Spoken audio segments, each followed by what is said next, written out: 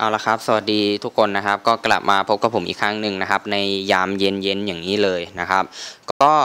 เดี๋ยววันนี้นะครับผมจะพาเข้าไปดูในคุกกี้รันเซิร์ฟเวอร์ไลน์นะครับ ตอนนี้ก็เพื่อนๆสามารถไปอัปเดตได้แล้วนะ ใน Play Store นะครับ ทั้ง Android แล้วก็ iOS นะครับ เข้าไปอัปเดตกันได้นะครับ แต่อัปเดตแล้วยังเล่นไม่ได้นะ ก็ต้องรอทีมงานเปิดเซิร์ฟ เพราะว่าตอนนี้เซิร์ฟยังปิดอยู่ไงนะครับ ซึ่งถ้าเข้าไปแล้วเนี่ยสังเกตคือภาพปกจะเปลี่ยนแล้วนะนะครับ เป็นซีซั่นใหม่แล้วนะครับ เดี๋ยวเข้าไปดูพร้อมกันเลยครับ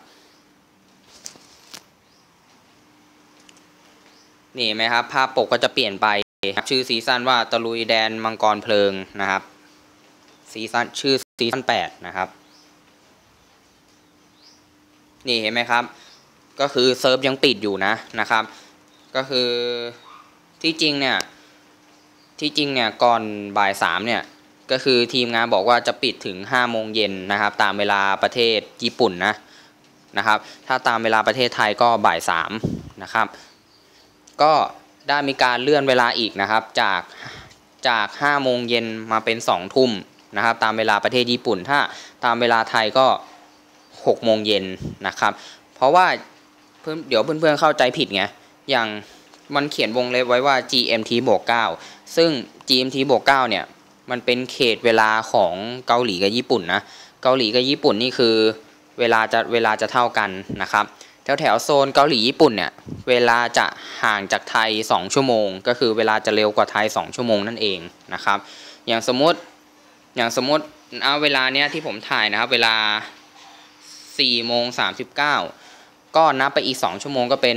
18นาฬิกา39 เห็นไหมครับ ก็ก็คือเวลาแถวแถวโซนเกาหลีกับญี่ปุ่นเนี่ย เวลาจะเร็วกว่าไทย 2 ชั่วโมงนะครับ ถ้าเป็นเขตเวลาไทยเนี่ยจะเป็น GMT บวก7นะครับ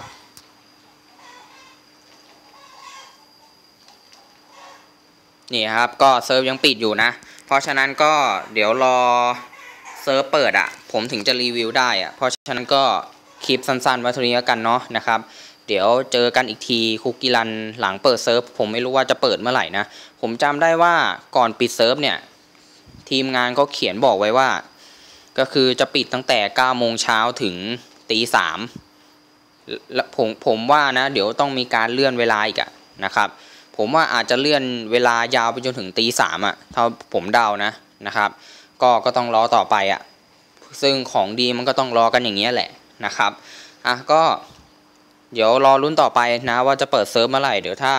เปิดเมื่อไหร่ปุ๊บผมก็จะทำคลิปรีวิวลง YouTube เลยนะครับแต่ถ้าในกรณีที่มันเปิดตีสามจริง ๆ เนี่ย ผมก็จะไปอัพตอนช่วงเช้าๆกลางวันแทนนะ เพราะว่าผมหลับอยู่ไงนะครับ